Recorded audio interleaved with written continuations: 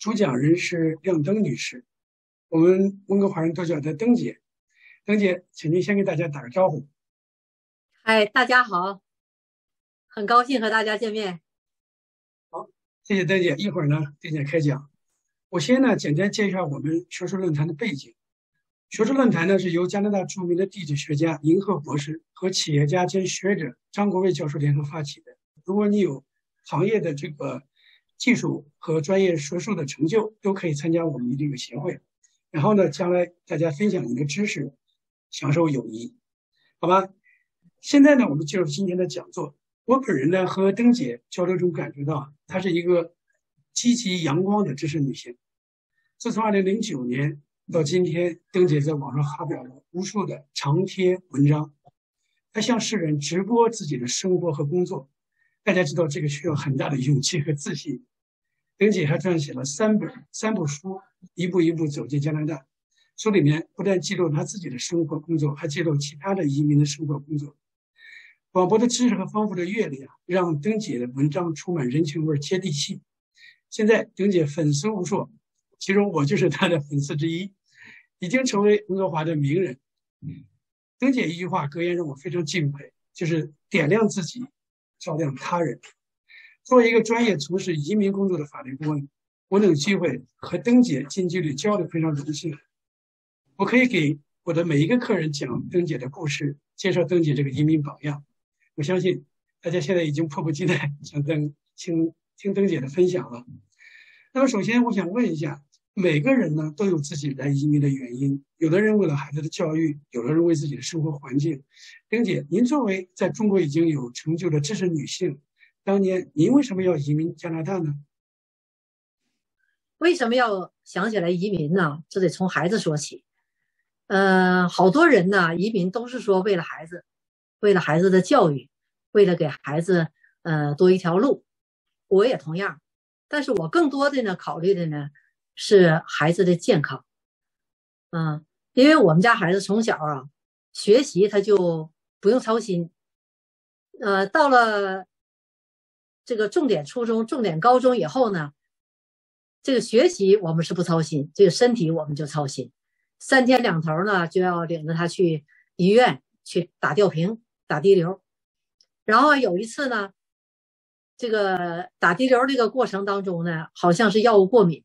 那我女儿就说：“哎呀，妈妈，我眼前一片空白，什么也看不见。”我吓坏了，我就赶紧把那针头就给她拔掉。那个还有一次呢，我领女儿去那个海边去玩水啊，因为这个我老公他家在大连嘛。那么在岸岸边呢，因为我也不会游泳，我们两个在岸边这个玩的时候，一个大浪翻过来之后哈，本来我牵着女儿的手就在那个岸岸边走，结果这大浪翻过来之后呢。我这个手就不知道什么时候就已经松开了，我自己都找不到北了，啊，劈头盖脸的这个大浪翻过来之后，哈，等那浪过去之后，我才发现我女儿在那边就吓哭了，那我呢就吓傻了，啊，我当时我就意识到哈，在这个大的无论是社会环境还是自然环境下，我保护不了自己的孩子。我在这之前自信满满啊，有我在。那就有孩子在，是这样哈。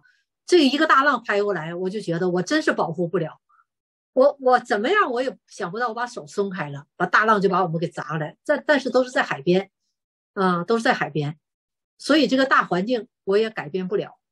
呃，在呃孩子上小学的时候呢，我可以帮助他写作业，但是呢，我不能让他退学。他身体不好啊，他身体不好，我愿意让他早点睡觉，但是其他的我什么都帮不上。所以呢，当时这个国内啊有好多这个移民中介，我就动了这样一个念头，也想出国。正好那个我们家呢有人在国外，像我弟弟妹妹啊，他们都在日本生活了好多年。所以后来呢，我们又听说有朋友移民到加拿大了，嗯，这样的我们就投奔朋友，说那我们也去加拿大吧。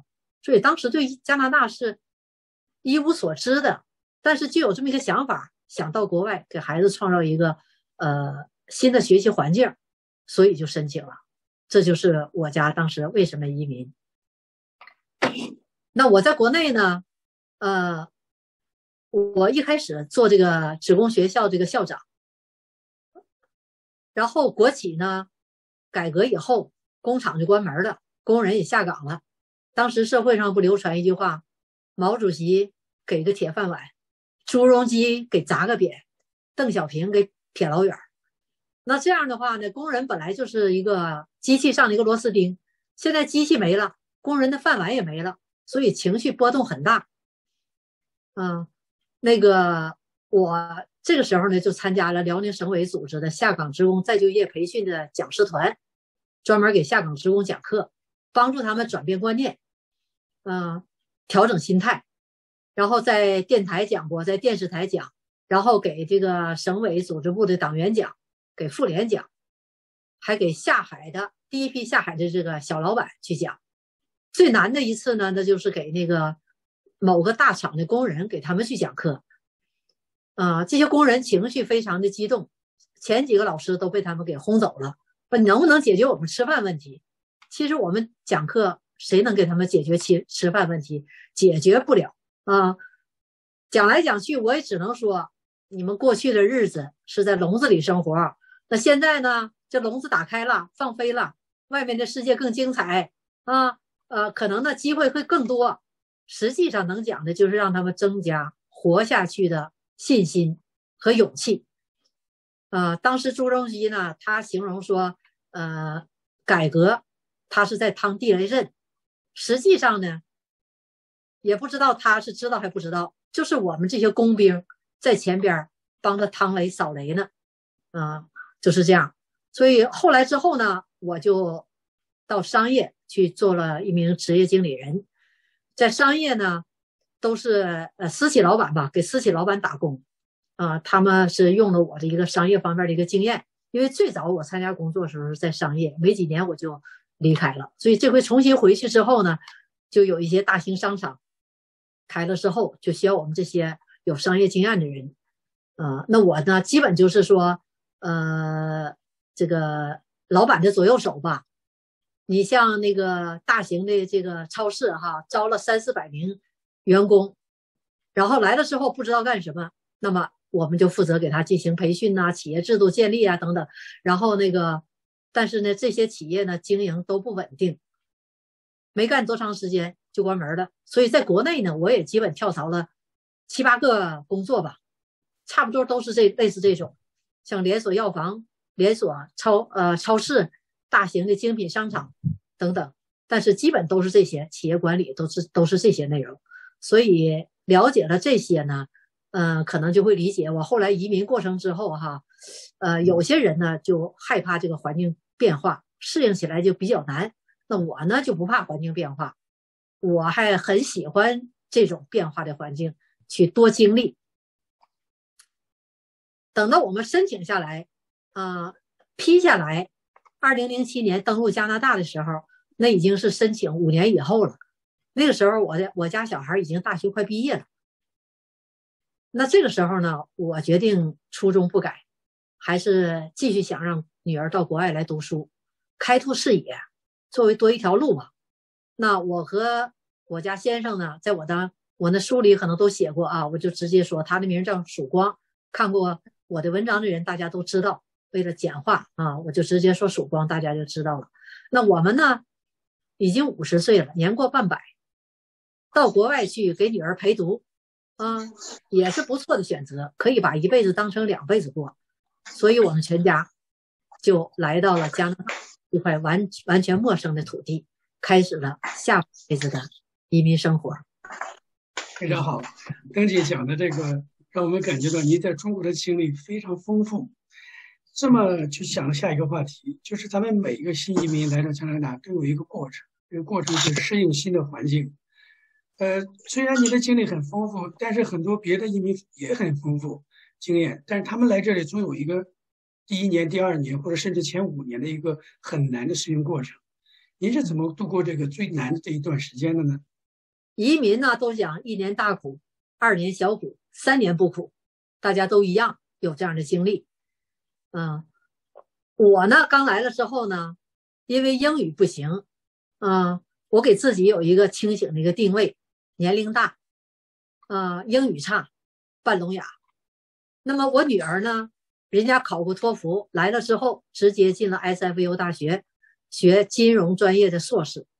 啊，那曙光呢？人家是主主申请人，啊，考过雅思，来了之后直接进新人公司。啊，人家起点来的时候差不多吧，就先找准自己一个立足点。那我呢？我是想在社会呃环境当中有这样一个语言环境，我来接触来学英语。啊，我想进新人公司，这就是我的第一个目标。但是要达到这个目标呢，对我来讲很难，我只能一步一步的走，因为我刚来，我半聋哑，我也听不清人家说什么，我也没法跟人家交流，我也真还去面试了，面试了，人家问我话，我回答不出来，我自己只知道自己半斤八两，所以呢，我最初的两年，我只能在华人圈里找工作，到西人公司工作这个目标，两年之后才实现。所以说，理想很丰满，现实很骨感，啊，现实很骨感。那我的第一份工作呀，呃，是在那个电话簿上查到的。当然了，都是华人的工作，在一个食品厂，嗯，做丸子、炒肉松，啊，也不错，离家还很近。嗯，但是呢，好景不长，只在这个公公司啊做了四个月，一场大火，就是把这个食品厂那个油锅呀。就给烧着了，厂房也给烧了，啊，这个时候呢就停产了，我还挺替这个老板担心。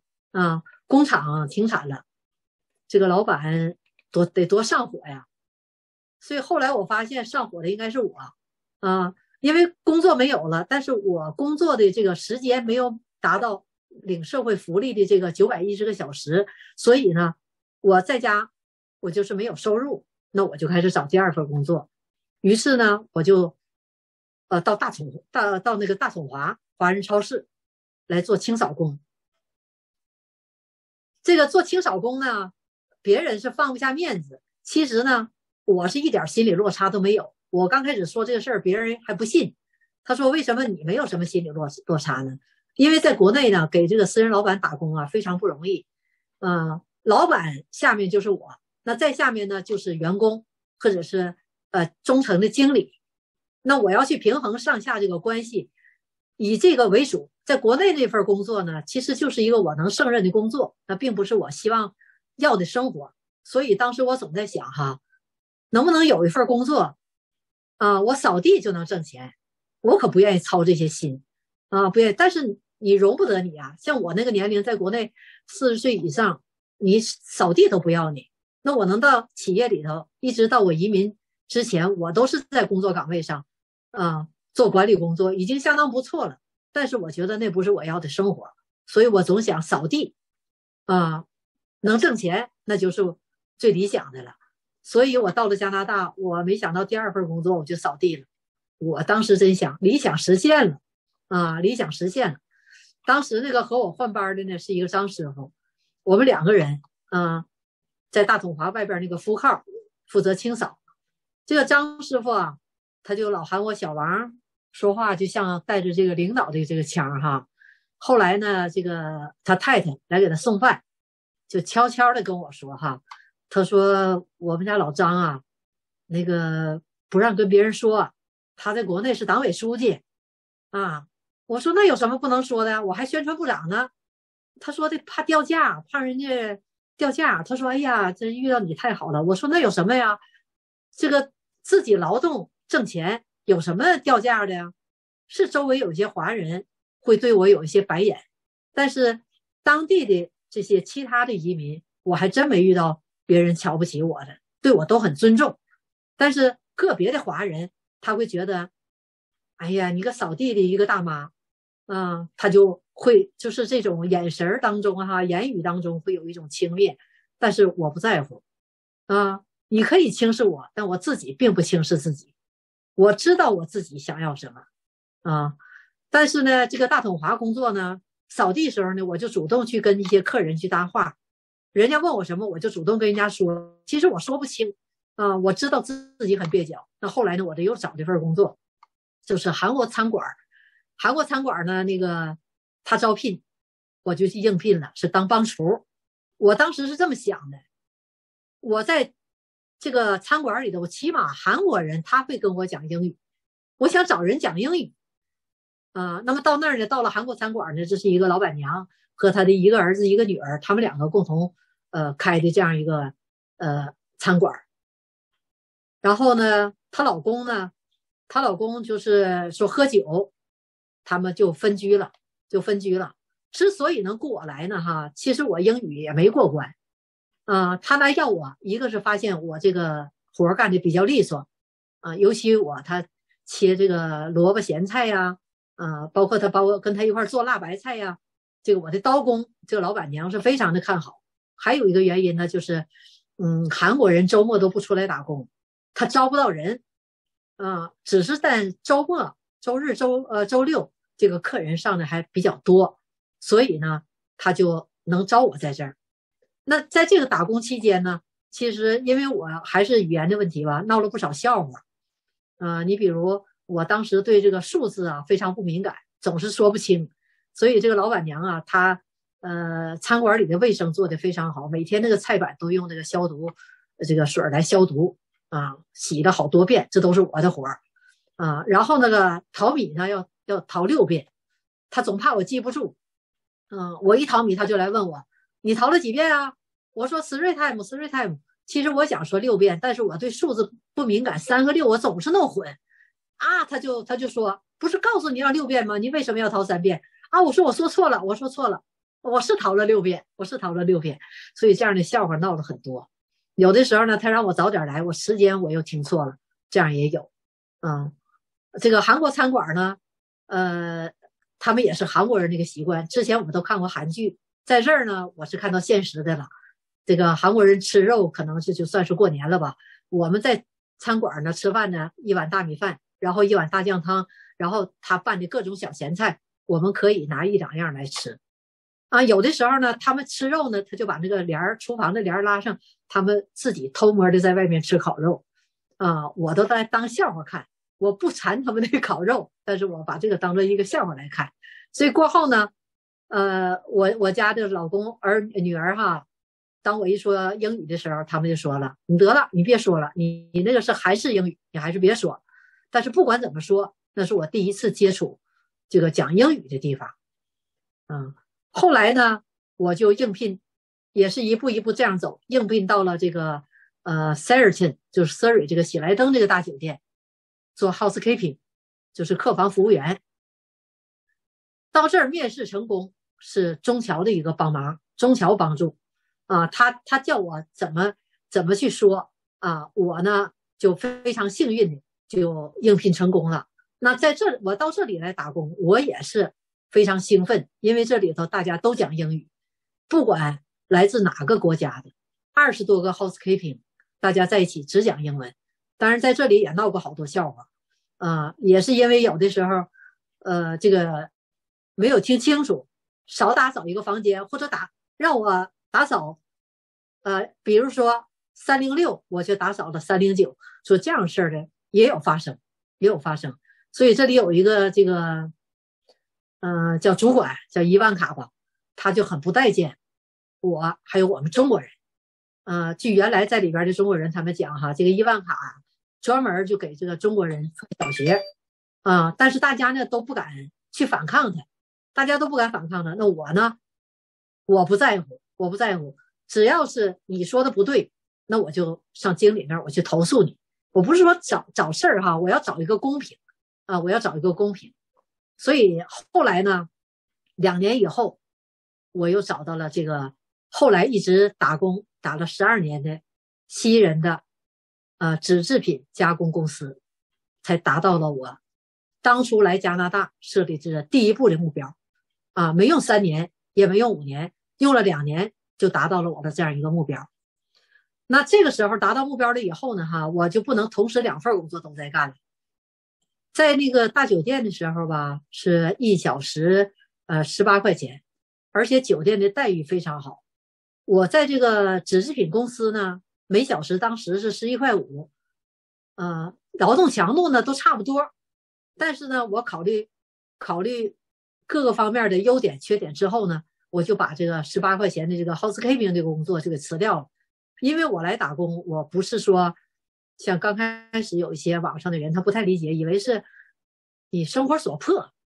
啊，怎么可能呢？我在国内退休了，我完全可以没有必要在这儿吃苦，我可以回国。啊，我可以说做这工作是我是我的主动选择，我是想过这样的一个生活啊。当然，人生怎么选择在你自己，啊，选择很重要。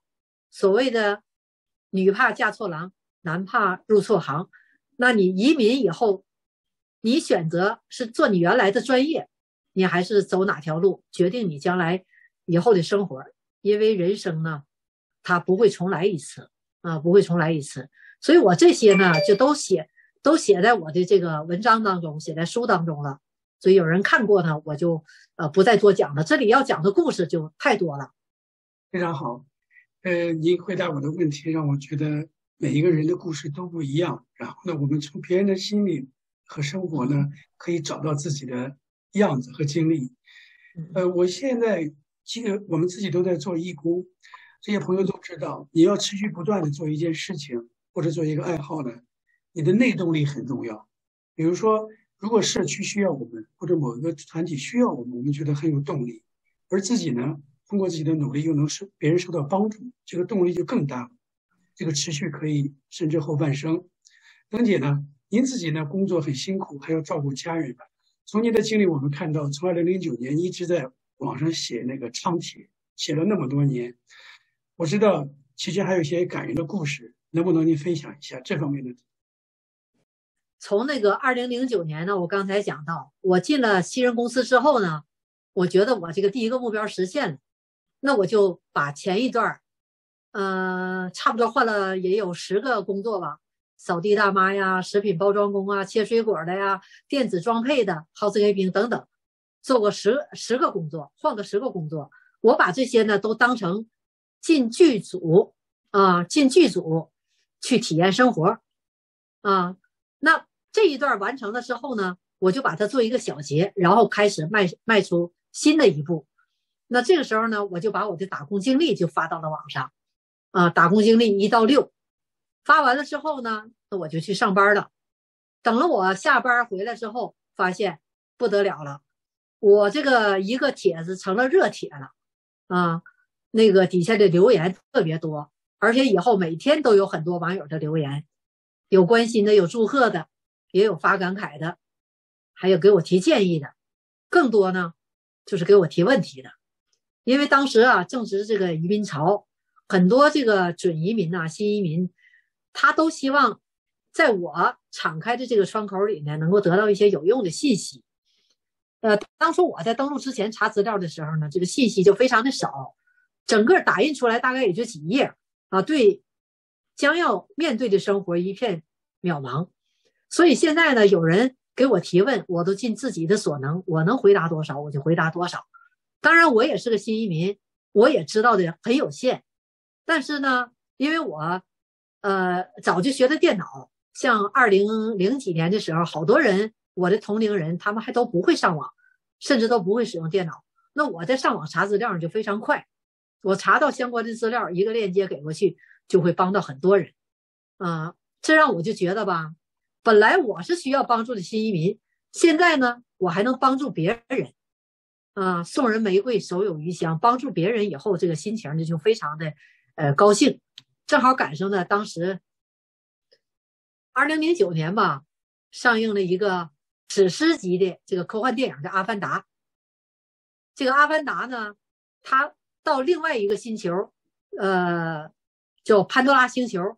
他就跟当地这个纳美人呐学习新的语言，然后他也帮助他们。我就当时感觉我在网上回答网友的这些提问，我感觉我像阿凡达一样，啊，以亮灯的身份，啊，能够帮助那么多人。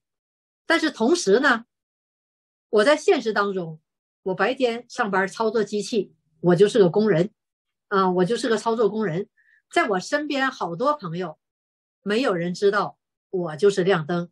啊，所以他们都是从别人的口中听到我的名儿，啊，所以呢，从那时候呢，我就回答这个网友的问题。另外呢，也把我的生活，就是逐渐发生什么事儿，就在网上我就写什么事儿。你比如，呃，曙光上大学呀，从入学考试，后来呢，到完不成作业想退学，到最后呢又获得奖学金，然后我们全家大年初一去参加毕业典礼，校长给我们拜年，嗯，还有因为找工作被这个华人给骗去一千加币，啊。就想去跟他打官司，后来又不了了之。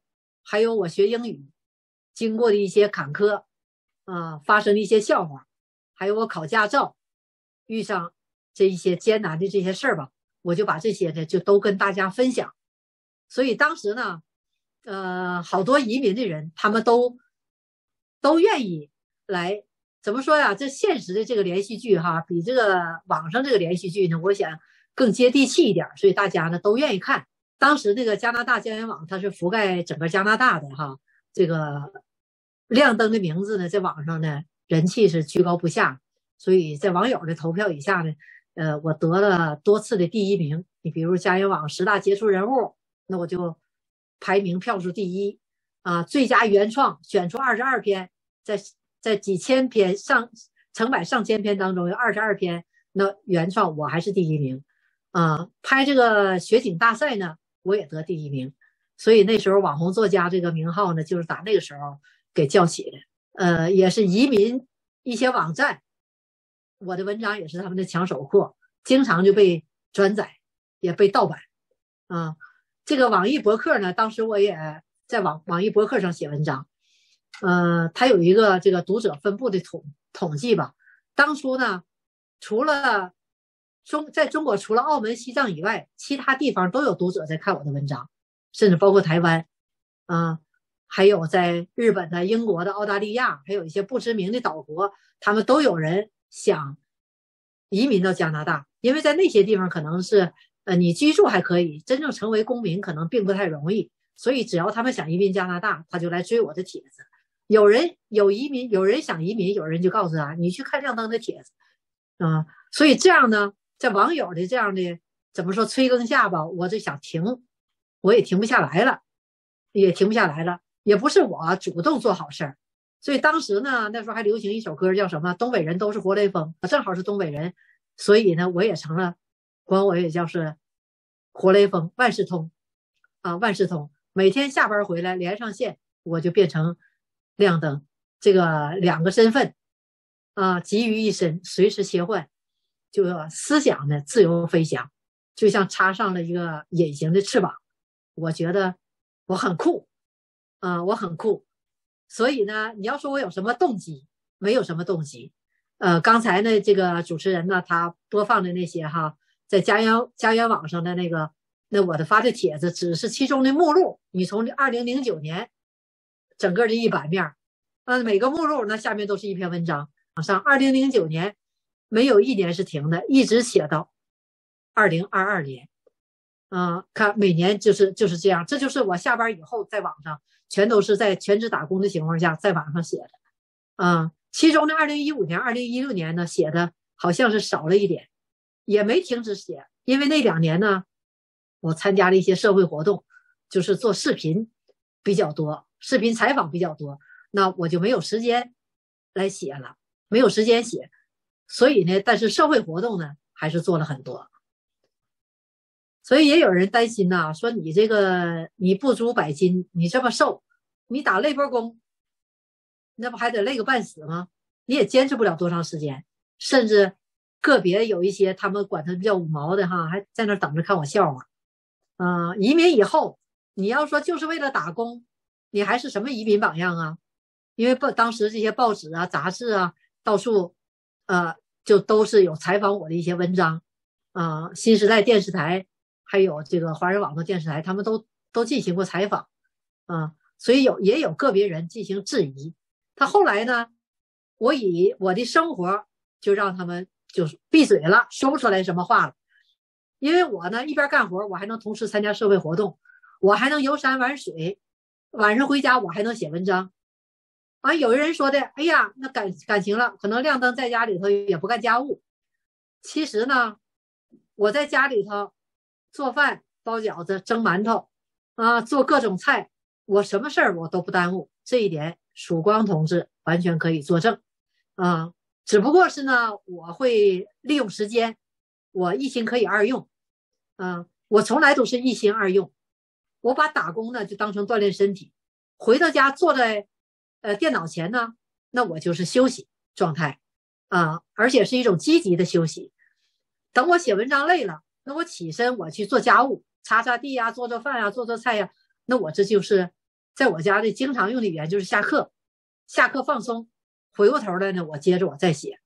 最主要的是呢，我喜欢这样的生活节奏，就一种。飞起来，飞翔的鹰的这种感觉，因为我的现实中的名儿哈有个鹰字，所以这个鹰啊就是我的图腾啊。我经常遇到这样的鹰的这样雕像，我就去合影啊。有句话说得好，人生是因为付出而快乐，幸福因为分享而增值。在我的生活当中呢，我就感受到了，因为我在国内的时候呢，我因为讲课，我帮助了很多下岗职工啊，在加拿大呢。我我不讲了，我又开始写了。我同样还能帮助很多新移民。我也不是基督徒，但是我能帮助别人，我就认为这是上帝让我啊委托我去帮助别人。因为什么呢？因为在每当我遇到困难的时候，也总会遇到有别人来帮我啊，每每都是这样。所以当时我总是这么认为，这一定是上帝派人来帮我的。我还有一句话，就是说要努力，直到上帝出手相助。虽然我也不是基督徒，但是呢，我总觉得上帝在我心里啊，所以任何时候都不放弃努力。你总会等到上帝出后出手相助的那一刻。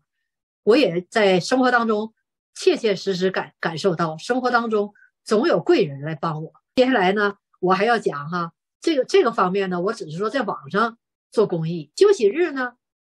刚开始打的是两份工，后来呢，我就辞掉了一份工，有了一份稳定的工作之后呢，周末啊，我都用来做社会上的公益活动。所以接下来呢，下一部分呢，我可能会要讲到这一部分。并且分享的这个，让我们觉得你怎么能把这么多不同的角色做的都很精彩？我们每个人都得学习。呃，下面这个话题呢，实际上登姐之所以是名人，不光是她的文章，还有她的书。实际上，她是一个特别积极参与社会活动的人。这一点呢，对我们大部分的移民来讲呢，都比较内向。请登姐分享一下，我们怎么才能做到主动的参与不同民族、不同形式的这个社会活动，让我们广交朋友，提高我们的社会知名度，再加上我们自己要享受这里的文化艺术生活。谢谢您。嗯，我真是这些事儿哈，都是同时在进行做的。我打工没耽误写文章，没耽误参加各种社会活动，呃，还是说，呃，从二零一二年的时候吧，我认识了世界华人周刊那个社长张辉，啊，那个时候呢，他他刚刚从美国搬过来，而我当时呢是社团的积极分子，认识人比较多，粉丝也很多，因为当初移民的这些人到了加拿大之后呢，我我当时还给他们成立了三个群。啊，每个群五百人，成立了三个群，所以呢，我认识的朋友也非常的多。那这个世界华人周刊呢，想在呃温哥华呢打开局面，那我们就一拍即合，我就以义工的这个身份参与世界华人周刊，我们组织了很多的这个文化活动。因为当时呢，我又做记者啊，又采访这个别人，我又做主持人，什么都干。为了工作方便呢。所以就有了世界华人周刊副社长这样一个头衔儿，就是为了当时这个方便吧。呃，我和曙光一起呢，就采访过很多位省市的议员。你像大家都知道李灿、李灿明啊、李耀华，还有康安礼、王小宝，我们不但给他开过视、拍过视频，我也写过报道文章，还有许许多这个各界的名人。当然呢，我也还采访写过很多各行各业的普通移民。啊，有的是电话采访，有的是那个见面采访，这都是在我业余时间做的啊。呃，这些普通移民呢，包括有翻译啊、协勤呐、协勤马路协勤员呐，还有各种做各种生意的老板、艺术家、打工者，方方面面，我还在继续写啊。当时用张辉社长的话来说呢，因为有了亮灯，让更多人知道了《世界华人周刊》，同时呢，《世界华人周刊》也让更多人知道了亮灯，因为我们当时啊，进行了好多次大型的活动，我就捡几次呃有意义的说吧，其实特别多，我都说不过来了。在二零一二年的时候呢，呃，我们举办了温哥华首届的诗歌朗诵会，当时是由这个著名诗人洛夫筹划，我作为主持人来配合。当时这个诗呃诗坛的泰斗级的人物，差不多都到场了，啊，大家都知道的有名的叶嘉莹先生，啊，洛夫、雅璇，还有西人的这个叶兹，悉数到场，所以那次呢堪称一场世纪的盛会，甚至可以是载入历史的，啊，因为现在呢已经这个洛夫还有叶兹两位已经成为历史，已经去世了啊。还有，在是二零一五年呢，我们举办了这个世界经济发展论坛，这也是海外呢规模最大的一次论坛。当时这个著名的这个经济学家哈，国内国外的，包括美国的这个毛一士啊、程小农、杨恒军等等，还有何兴莲等等，好多名家齐聚一堂，为中国的经济发展把脉啊，这也是空前绝后的。因为当时那种社会环境之后就不再有了。现在也没人去敢讲了啊！还有呢，我们主办的这个首届温哥华艺术沙龙也是大咖云集。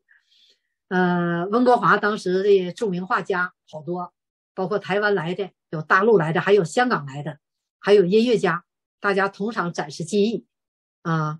你比如这个有被称为“牡丹章”的这个张金生，当时他就以画牡丹出名。还有专门擅长画老虎的林伯良啊。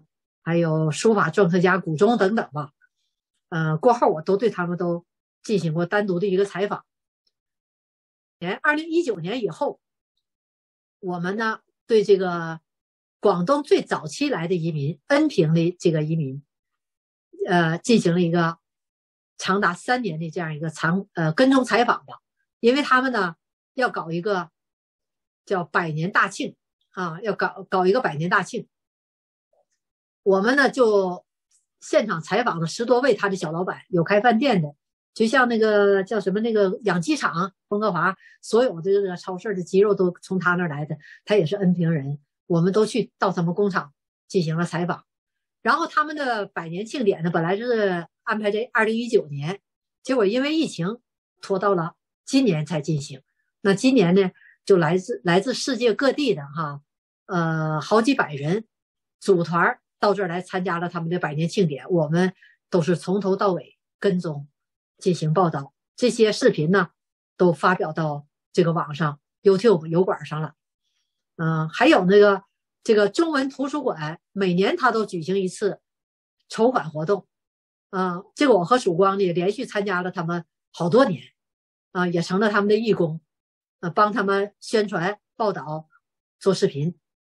嗯，更别说大温。几十个社团同乡会，他们这个会长啊，跟我不是说都是朋友吧，但起码见面都认识。我认识他们，他们也认识我，啊，所以同乡会他们有什么活动也招呼我们去参加。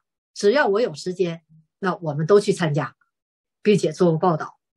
啊，因为这些呢都是移民生活的一部分，我想对移民生活了解的更多一点啊，更多一点。所以刚开始我在网上呢，我觉得我没什么写的了。参加社会活动之后呢，我觉得我要写的东西太多，我都写不过来了。当然，我刚才讲的这些呢，还只是就是华人圈里的这些活动啊，当然很多很多。但是加拿大呢，作为一个移民国家，汇集了来自世界的是各国的人。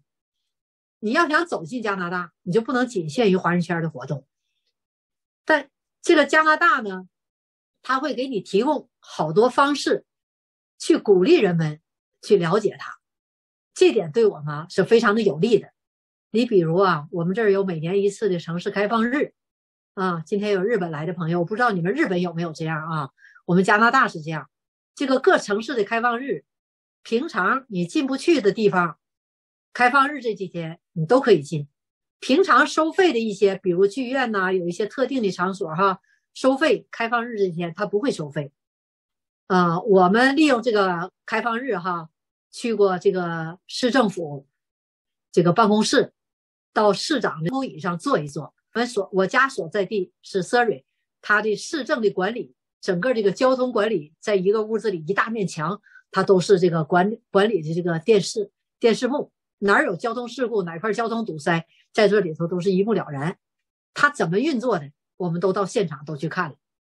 还有 Surrey 的新盖新盖了一个这个纪念医院，啊，这个建医院的钱呢，有政府拨款，也有这个民间人士的。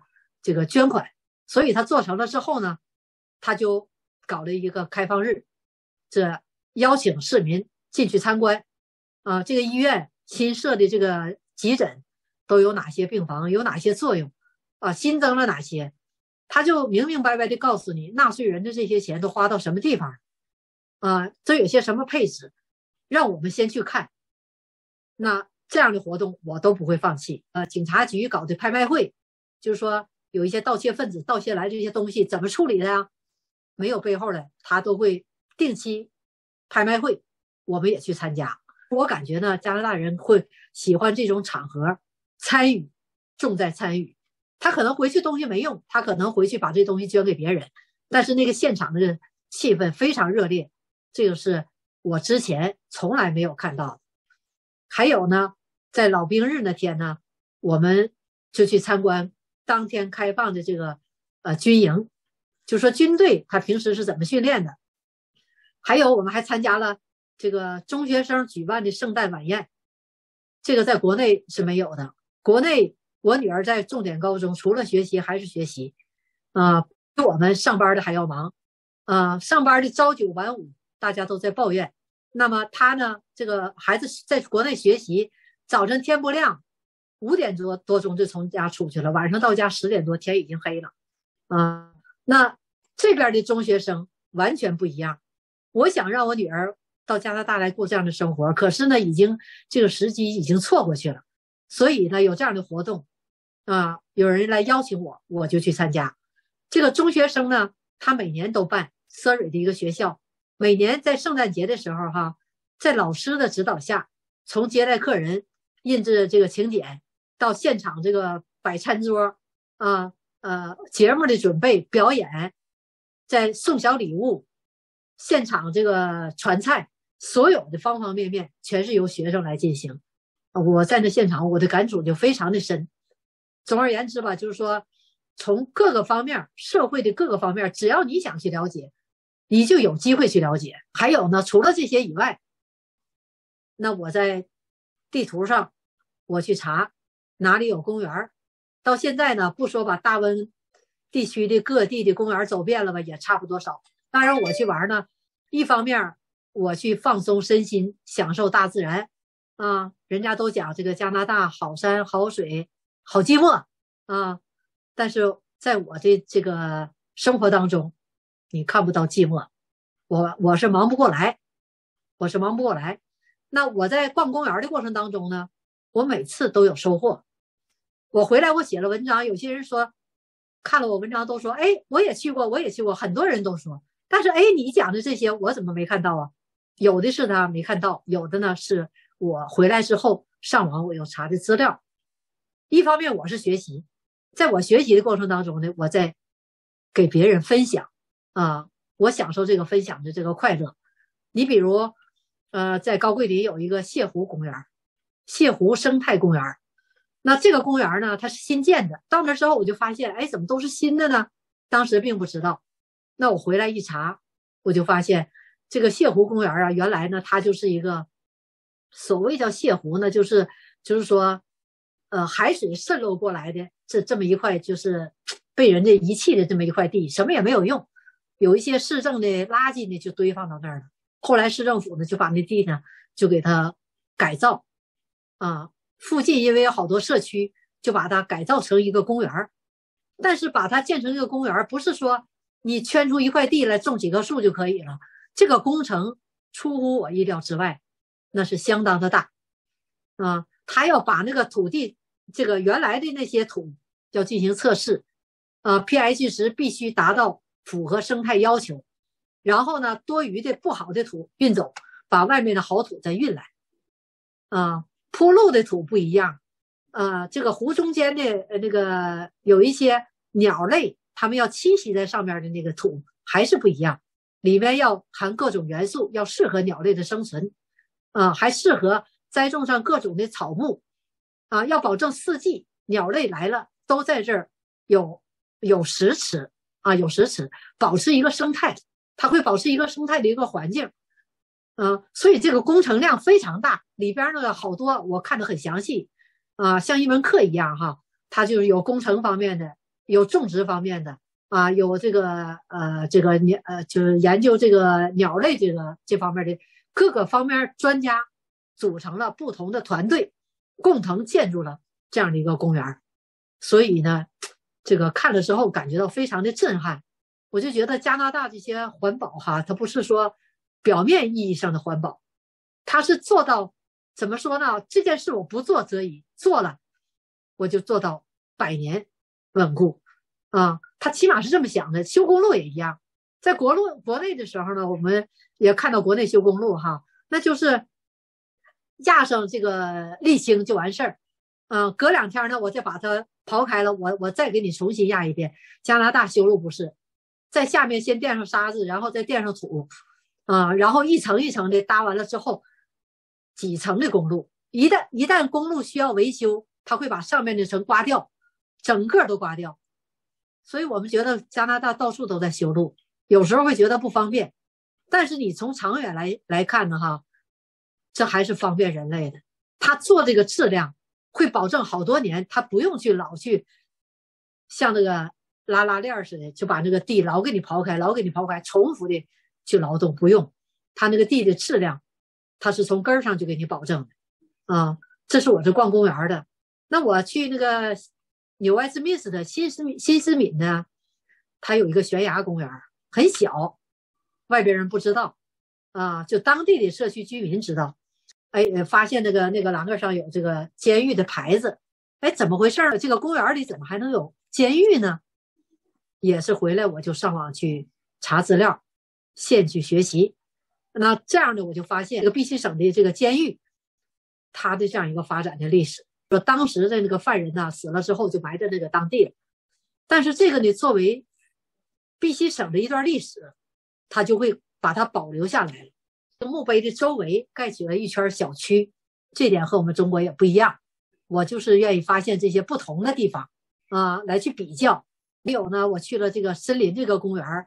看也就会了解到加拿大这个，呃，为什么这个森林这个特别的茂密，每年都有山火。可是呢，只要出门，在我们所住这个城市，你就可以进入森林。当初他在建建立这个城市的时候呢，他就会保留那块绿地。尤其我们 Surrey，啊，因为其他城市我也去过，Surrey 这个绿地非常多，因为它在大温地区啊，它是。呃，最后被开发的这样属于一个新兴的城市啊，而且它的发展势头也非常快。据说预计呢，这个人口总数到二零四几年就会追追上这个温哥华了啊。所以呢，说生活在加拿大，多元文化，你只有主动参与了解，才能逐渐融入进这个大家庭。否则呢，你就不要总说别人种族歧视，是你自己。把你自己边缘化了。你要说缺点有没有？有。刚才我举例子，你在这个世界上就没有完美的国家，只有先进与落后之分。啊，我们呢总要学人之长，补己之短，才能够进步，才能让自己变得更好。那参加了这么多丰富多彩的社会活动，我自己的生活也因此而丰富多彩。还有时间组织朋友参加国庆大游行，然后呢？在印度光明节的时候，我就带领大家，对，就是这张照片，我们就一起去参加印度的丰收节，还有好多像意大利节呀，呃，那个这个这个爱尔兰节呀，都是加拿大人的节日。所以每当这个时候呢，我就想到哈，咱们华人呢，往往就喜欢自己关起门来自己玩儿。你看我们的活动搞得丰富多彩，但是在英文网站上很少有我们华人刊登的广告。你比如我们进行的。大型的泼水节，啊，完全可以成为加拿大人的节日，但是呢，在英文网站上我们没有注册，没有登记啊。那我呢，就主动带领我身边的朋友去参加这次活动。你像这个 New Westminster 新西敏这个哈克国际大游行，那我就从上网报名学起，这个多元文化嘛，把我们的文化传播出去，把别人的文化吸收进来。所以最后这个游行结束之后还获奖了，啊，对我们也是一个很大的鼓舞。我们华人在这儿呢，有这个，呃，除了中侨以外，还有奥普森呐、莫塞卡呀，都是和中侨一样的这样的一个机构。都是为新移民服务的，在这些地方我们都有做过义工。呃，像这个莫塞卡，他组织一些给老年人关爱老年人，需要呃通过一些这个广播剧啊、电视剧啊，来让老人别上当受骗，或者是说管管好自己的财务哈。因为我能写，那他就让我来给做编剧啊。然后我也当过这个演员啊。通过这样的一个活动。来让更多的移民知道，啊，尤其是华人移民哈，你在遇到困难的时候，你怎么去求助？你去找谁？另外呢，你有哪些权利？就是即使你和你儿女之间发生经济问题，也有人来帮你解决。原来在国内是家务事，那到了加加拿大就不完全是家务事，啊，涉及到人权的问题，涉及到你有权利的问题，那么就有人给你。来做主，有好多帮助热线，啊，这些组织呢也会给你提供帮助，啊，所以这个十多年的生活啊，这活动啊太多了。有些呢，呃，这个这个，反正都在这个目录里吧。而且这个曙光啊，在这个录像当中，呃，在华人网络电视台呢，他作为这个摄像那个记者，也我们俩共同吧，除了采访以外，拍摄了几百个、上百个视频。分别是在 YouTube 呀，还有国内的优酷、腾讯呐，呃，差不多这些网站吧，都发都发的这些系列，我们把它归到一个目录当中，一步一步走进加拿大，啊，这个几乎就是我的名片吧，哈，你只要打入这个题目，你在百度上也好，这个 Google 上也好，总发现更多的内容。亮姐给我们讲的，您是立体的了解了加拿大。实际上比我们了解的角度更多更全，我现在学习了很多。还有一个呢，因为这些动力都是您对生活的热爱，对社会问题的关切，才让您有这么大的动力，这么多时间的管理，能管理出来这么多的不同的角度和是既工作又照顾家，又能去了解这么多知识，真的让我们觉得应该向您学习太多。那么刚才您讲的很多这些思想、经历、事情、朋友。您是不是把它汇聚到三本书里面？是不是一步一步走进加拿大的三本书了？啊，要说这个三本书呢，完全可以说是副产品，因为呢，我刚开始的时候，我根本没有什么写书的这样一个想法，我忙着干活啊，我忙着去参加活动，我都来不及啊。但是我在一步一步向前走的过程当中，我身后就留下了这一行脚印儿，那就是三本书，还有一个灯塔。还有刚才我讲的这些视频，呃，从这个我二零零七年移民加拿大以后呢，我就开始记录生活，啊，刚才已经讲过了啊，下班以后就开始记录，至今啊，在不知不觉当中已经十五年了，啊，留下了三本书，一步一步走进加拿大，生活在加拿大，家住美丽的温哥华，这就是我留下的脚印儿。那这三本书呢，都是在我全职打工的这个情况下，在业余时间完成的，内容超级实用啊！这个得到了出版社的青睐，所以当时这个网友让出书的时候呢，就有出版社呢免费为我出了这个第一本书《一步一步走进加拿大》。这个书出来了之后呢，就成为了呃移民指导的畅销书。啊，这是网站上啊，他这么他这么写的移民指导畅销书。当然，当这个书呢，当时印的呃不是很多啊，不是很多。这个十年过去了，这次在准备这次发言的时候呢，我又上网看了一下哈。这个本来这个原版的书已经没有了，这个二手书在网上啊，这个价格不降反升。头几年最高的时候，二手书都卖到一百八十块钱了。现在这个画面上展示的这本书呢，是在。美国科发出版社出版的这个，在国外发行，这样的话呢，这个呃出版社给了我很多免费的书，我就把它赠送到温哥华的图书馆。我在参加一些活动的时候呢，那我就把其他的书，大概都有上千本吧，我就捐给了新移民。呃，这个第二本书呢是二零一七年出版的，当时这本书我想叫《一步一步走进加拿大》的续集，书名是这么想的。但是我在参加活动的时候呢，这个呃著名这个诗人雅璇先生啊，他就给我提个建议啊，他就给我提个建议，他觉得我这个一步一步走进加拿大非常好啊。他说：“你别叫续集，你续集接下来你还要写第三部啊，你这个可以叫第二部。幸亏当时这个雅璇给我的帮助，给我留了后路，所以才有了今年的这本啊《家住美丽温哥华》的第三部。接下来呢，我可能还会把这些书捐到图书馆。这些书你看上边有个小圆圈嘛，都是这个入选到呃世界华人文库。我在加拿大家园网。”一个置顶长帖，名字也是一步一步走进加拿大。嗯，那这个帖子从二零二呃二零零九年开始写，一直写到现在，就是每天都在写，留下了可以查阅的这样一个空间记忆，也为当代移民留下了一个《清明上河图》。我每篇文章都有信息点。加拿大的价值观、加拿大的文化，啊，和加拿大的风土风土人情，都在我的文章当中能够体现出来。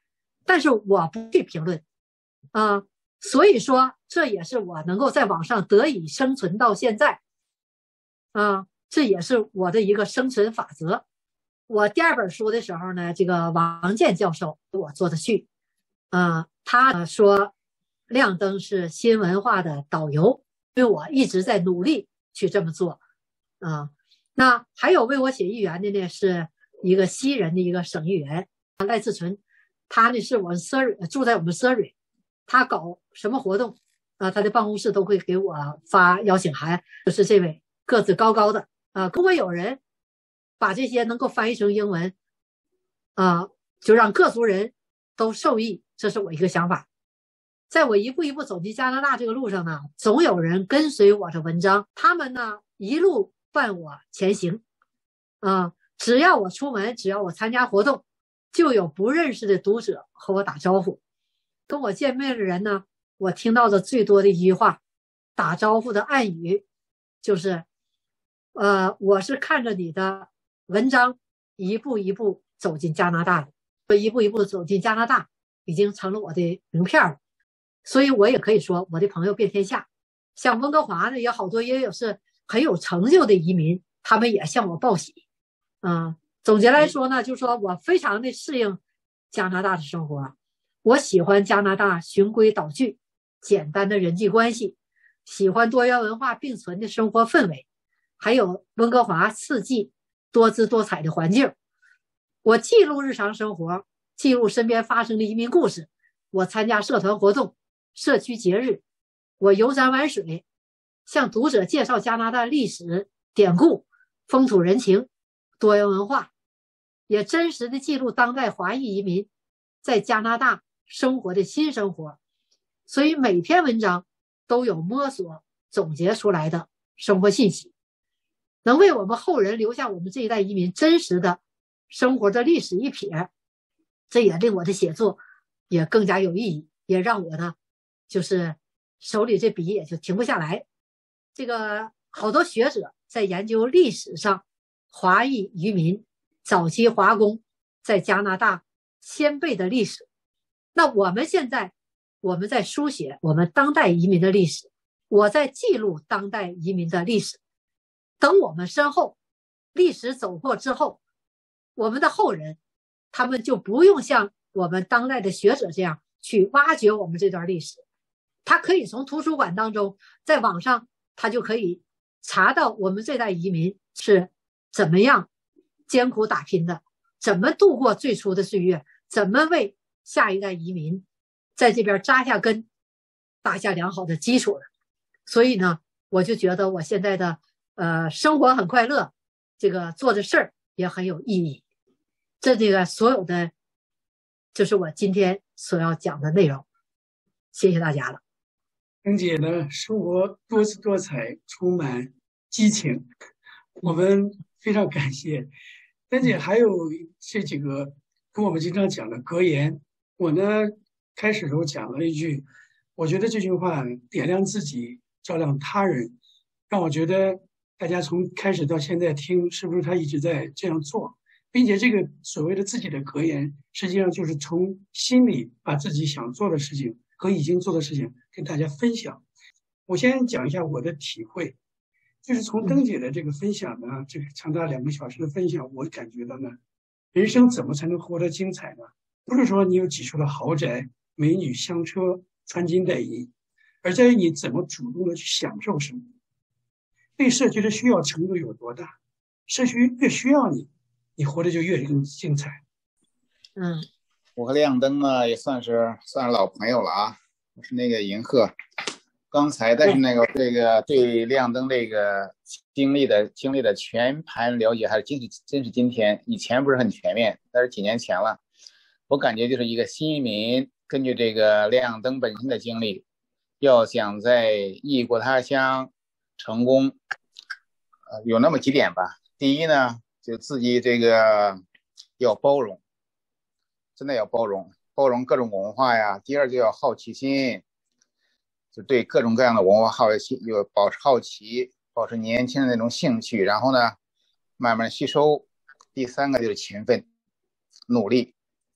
我想，如果达到这一点的话呢，就很容易在异国他乡站住脚。这是我今天从这个亮灯身上学到的。啊，非常感谢很精彩的演讲啊，也感谢杰森。亮 亮灯，我们也是老朋友。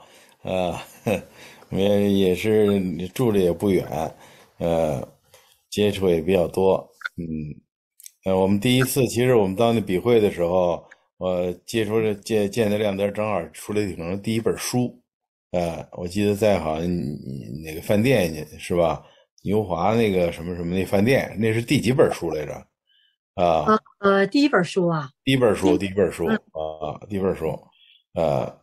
后来呢，我我看了以后，我就觉得这个书啊，就是特别珍贵。它是一个真真实实的你的脚印儿的纹络啊，它不是一种呃虚构的东西。也就是说，这个是这个，当然回顾历史的时候吧，你要看到亮灯他们这个写的这些书的时候吧，他们就是历史真实的历史的一部分，呃，一点虚构没有。很有价值，叫永远有价值，呃，那么也就是说，在咱们的咱们的历史记载中，说实在的，真的很有价值的《风雅颂》里边的，就是官方的、祭祀的和民间的东西，什么是最真实的东西？最有最能流流流流流源远流长的，就是老百姓的这个真实的生活。举例子，你比如像这个。说像打板城的姑娘，像这个茉莉花这些这些歌，你看现在仍然风靡世界。这些东西流传下来很不容易，呃，因为官史啊，你说《史记》啊什么记载这些东西，大家觉得都都会有一个胜利者的历史，呃，这些都会有一个虚构的东西，都会里边产生很多怀疑，呃，包括有些小说，小说大部分就是一小说嘛，就是虚构。啊，有有有虚构和不不不全虚构的，对吧？fiction 和 no fiction 的都有虚构。那么这些呢，大家呢都不能够在里边都会有争论，《红楼梦》到现在都会有很多争论，对吧？所以我就说，觉得就是你们写这个东西也非常非常有意义，啊，这就是一个真实的，像化石一样，像你那个银鹤搞，他们现在找那个说那个石头。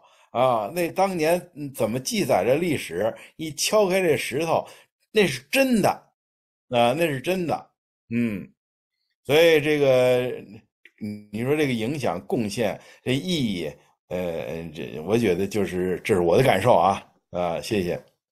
这个路遥啊，总结的一句人生哲理啊，人世间的一切不平凡，最后都要回归平凡，都要用平凡生活来衡量其价值。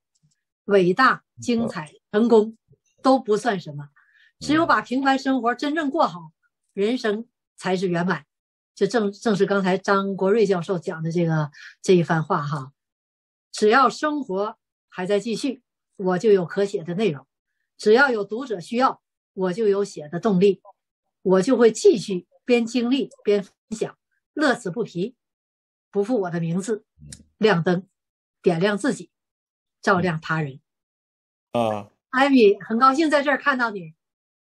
嗯谢谢啊，谢谢亮灯，精彩的表演讲，很受很受鼓舞。这是谁谢谢你，亮灯。我是博客，我是博客，你的老乡。哎，你好，你好。嗯，谢谢谢谢。喂，亮灯，我是木林，我在中国，我在中国。木林，大家好。谢谢亮灯的精彩讲座，我第一次从头到尾。呃，都听完，好，谢谢你啊，讲的非常精彩，谢谢，真写的也精彩，真实的亮灯，讲看亮灯，喜欢看亮灯，技术真实的历史。百音，谢谢，哎，你讲的百音好，我我我感觉到是宣传不够，宣传不够，道大家都不知道，你知道吗？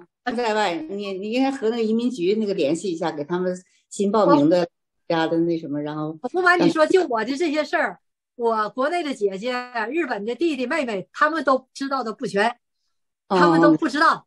嗯，真好，你讲特细，特别系统。如果要是那个想来移民的，这那个呃，听一下你这个这个讲座，肯定是好像就少走不少弯路，是非常好。非常感谢各位啊！感谢曾姐今天讲那么长时间，辛苦辛苦了啊！各位朋友在温哥华的、在日本的、在中国的都很辛苦，听到现在。所以呢，以后呢，我们会把这个视频放在网上，大家可以传播给您的朋友，让更多的人呢了解亮灯，呃，大姐对这个我们的贡献，包括刚才各位啊张教授和一火博士讲的这些东西呢是无价之宝，好吧？谢谢大家。要不今天时间到了，谢谢，非常感谢，非常感谢，谢谢大家，谢谢主持人，好，谢谢。